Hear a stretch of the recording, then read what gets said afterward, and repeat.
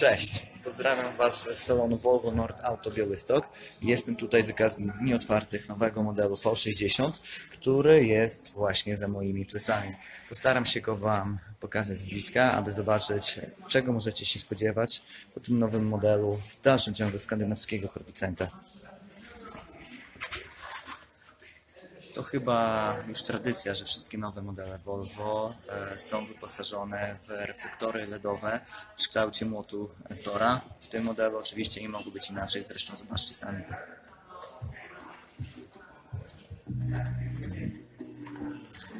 Przejdziemy teraz dookoła auta. Volvo to auto rodzinne, w dalszym ciągu chociaż pełne emocji. Dlatego też oferuje sporo fajnych rozwiązań dla rodzin, między innymi duży bagażnik. Zresztą zobaczcie sami.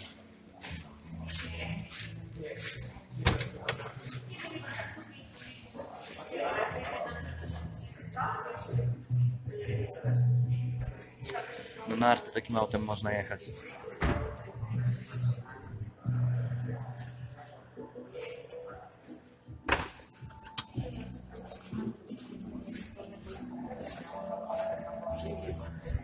Dopisek AWD oznacza, że ten egzemplarz będzie wyposażony opcjonalnie w napęd na cztery koła, co na pewno będzie dużym udogodnieniem i poprawi, e, poprawi trakcję tego auta, która i tak pewnie jest dobra, ale wiadomo, w Polsce, jak i w Skandynawii klimaty mamy, klimat mamy jaki mamy, więc bywa różnie, a co za tym idzie, napęd na cztery koła zawsze się przyda. Teraz siedzę w środku na miejscu pasażera. E, Miałem okazję testować Volvo XC90, które jest, można powiedzieć, flagowym modelem e, ze Skandynawii. I muszę Wam powiedzieć, że jeżeli chodzi o jakość wykonania, jeżeli chodzi o komfort, który czuje się po zajęciu miejsca kierowcy w tym aucie, zresztą miejsca pasażera również, jest, e, ja jest naprawdę wręcz królewski. Widać i czuć, że siedzimy w aucie klasy premium. Zresztą zobaczcie sami, jeden obraz jest wart więcej niż tysiąc słów. Fotele na pewno będą i komfortowe i będą zap- zapewniały bo, dobre trzymanie boczne przy wyższych prędkościach, których, do których to auto też jest przystosowane. To jest silnik T6 benzynowy, więc raczej na słabe osiągi tutaj nikt nie będzie mógł narzekać, tak samo jak na brak mocy. Ale to, co bardzo lubię w autach i co mi się bardzo podoba również w Volvo, to panoramiczny dach.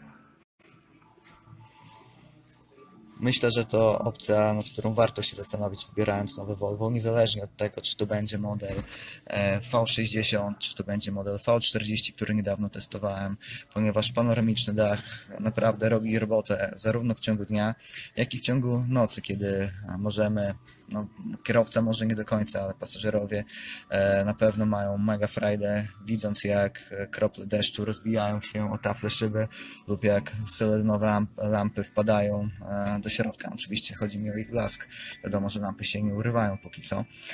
Teraz zobaczmy, jak wygląda tylna kanapa, no bo ten model oferuje nie tylko, będzie oferował na pewno nie tylko dobre doznania dla kierowcy i tych i jego pasażera, ale przede wszystkim to też auto rodzinne, które będzie zapewniało mega komfort dla tych, którzy będą podróżować z tyłu.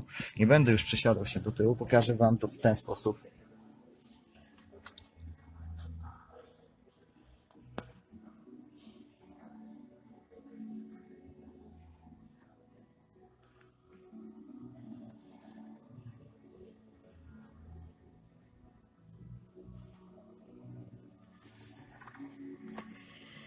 I jeszcze jedna ważna rzecz, o której e, mało brakowało, bym zapomniał, to system Sensus.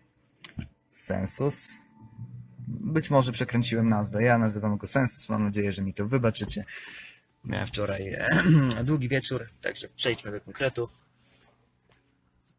Ten oto, nie wiem czy dobrze widać, tak, ten oto tablet przypominający iPada to serce tego auta, a, który pozwala na sterowanie naprawdę masą funkcji. Tutaj też widzę, że e, na pokład e, został, e, na pokładzie znalazł się naprawdę dobry system dźwiękowy Bowers and Wilkins, e, and Wilkins i uwierzcie mi, na podstawie tego, e, co czułem jeżdżąc XC90, e, ten system, no to czyni z tego auta małą operę z dobrą akustyką.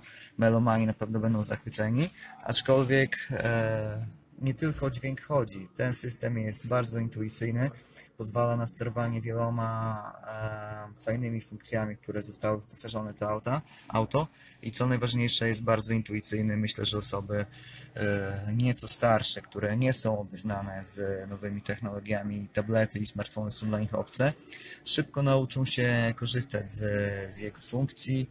E, Cóż mogę dodać więcej? Model, który dziś macie okazję oglądać w tym wideo, przyjechał do salonu Volvo Nordauto specjalnie ze Szwecji. E, Jeszcze oficjalnie nie ma go w e, sprzedaży. Więcej zdjęć niebawem będziecie mogli obejrzeć na moim blogu, więc e, zapraszam już niebawem na Karol Rutkowskiego, gdzie znajdzie się nieco więcej informacji na temat Volvo V60, a także możecie znaleźć tam informacje na temat innych modeli Volvo, które miałem okazję dotychczas testować, jak i kilku innych aut. Zapraszam, życzę miłego weekendu, pozdrawiam.